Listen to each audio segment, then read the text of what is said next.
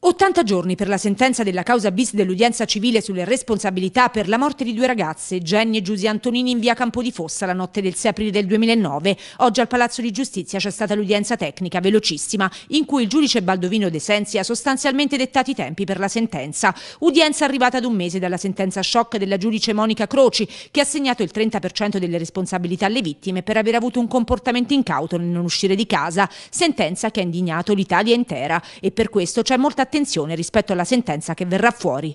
Eh, la tesi finale è appunto che diciamo, la responsabilità non può essere addebitata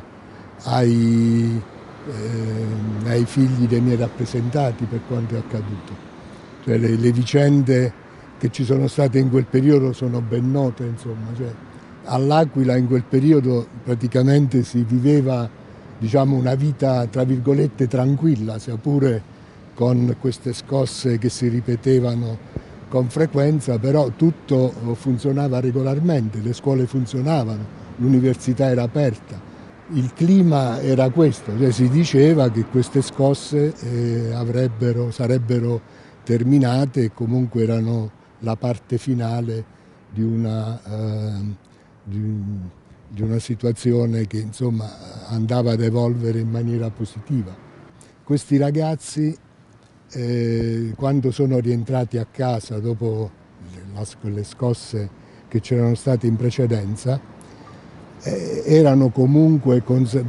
ritenevano comunque di occupare un immobile antisismico, cioè è questo pure che va tenuto, va tenuto in considerazione, non è, quindi non è che si può parlare di superficialità la causa delle due sorelle doveva andare a sentenza con quella delle altre tre giovani vittime, ma ci fu un problema con i fascicoli che nel frattempo sono stati ricostruiti dai legali. Dunque, il 26 ottobre è partita la causa bis con la prima udienza, nella quale De Sensi ha dato appunto mandato ai legali delle parti di ricostruire i fascicoli riguardante la causa delle due sorelle. C'è molta attesa per vedere il comportamento del giudice, se userà lo stesso metodo di giudizio della Croci o farà come in tutte le altre sentenze sui crolli, dando cioè la responsabilità agli eredi del costruttore e ai ministeri competenti. Sono state precisate le conclusioni, cioè l'ultima attività che si svolge in udienza, ora ci sono complessivamente 80 giorni di tempo per esporre definitivamente le difese e poi la sentenza, diciamo grosso modo